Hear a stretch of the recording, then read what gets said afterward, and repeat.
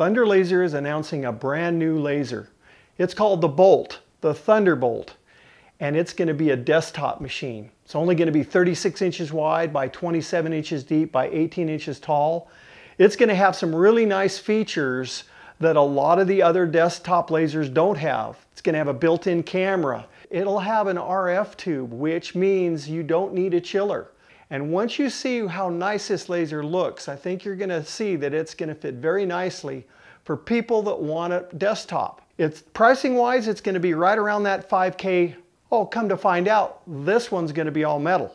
A Z movement in it, so you'll be able to do uh, tumblers.